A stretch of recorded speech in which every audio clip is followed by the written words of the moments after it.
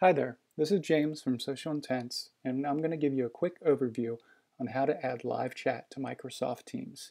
This will allow you to chat with your website visitors right from your Microsoft Teams application. The first step is to find our application called Live Chat either in the app marketplace or by clicking the plus button at the top of a team and channel that you'd add, like to add live chat to. Once you click on this application, it'll be added as a live chat tab into your teams and channel like what you see here currently. This gives you a high-level view of queued chats, active chats, and your chat history, so you can see exactly what's going on with live chat in your system at any time. In order to test a chat, you can just click this link, test your chat, and that'll give you a demo chat widget that you can use uh, to test your chat app. This will include uh, pre-sales information that you can configure, um, you can also customize colors, logos, and all the text that you see. I'm going to start a test chat here.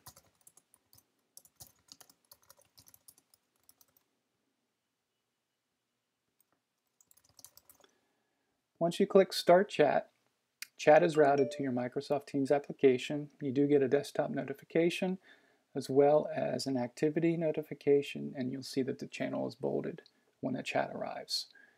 What we do is we create a new conversation in Teams that you can see here with the pre-sales information that you've collected. Uh, in order to join a chat, click, click, click the Join Chat button and you can simply reply from the conversation by clicking Reply and you'll see that the response goes right back to the Teams, uh, to the live chat client.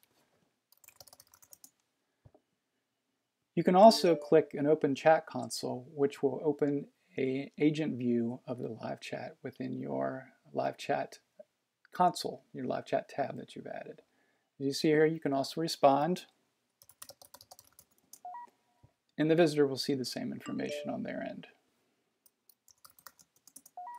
We do support emojis, uh, file uploads and downloads, as well as canned messages and shortcuts. Uh, you'll see here that the, you can join any active chat, so any member of that team can join any active chat. And when you want to escalate uh, chats between agents, you can post out of band within your team and channel, inviting your other team members to join a chat, and any of them can join and respond at any time. Next, I'm going to talk a little bit about the chat settings and your agent settings. When you set the application up, you've added the live chat to your team and channel. You also add it to the left sidebar here. And what that does is it gives you access to your chat settings. So you see here all the chat widgets that we've set up. You could set up multiple widgets, say for different brands or different languages, and each can have its own routing, meaning it can route to a separate team and channel.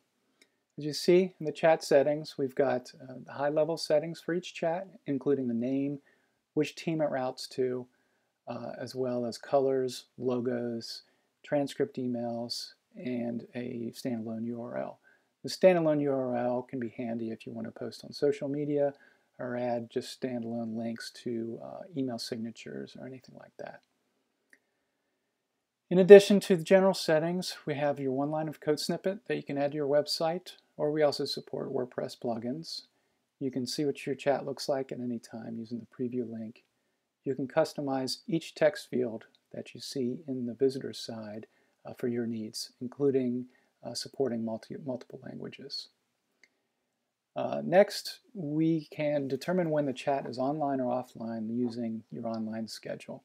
And this applies to each chat widget, and you can set up multiple periods during the day that the chat will be available. Once you do this, uh, when you're offline, we display either an offline form or you can hide the chat widget altogether when it's not available. We do support integration with uh, uh, Dialogflow for natural language processing. So we do support uh, chatbots uh, for more advanced users. And you can have a chatbot st either start a chat, it can pick up when a chat is missed or offline, or you can use it in conjunction with your agents. We do support targeting, which means uh, which pages your chat widget is available on, as well as proactive timers to automatically trigger the chat to pop up after a configured period of time. Uh, the next two sections are CSS and JavaScript, where you can customize styles, and JavaScript, including uh, scripts for analytics and such. and for sending transcripts and emails to other systems. We integrate with Zapier. So this allows you to send your uh, transcripts to nearly any uh, SaaS application, including HubSpot, Salesforce, MailChimp, uh, to emails, and many other applications. We do support uh, integrating with uh, Dynamics and other Microsoft products through Zapier as well.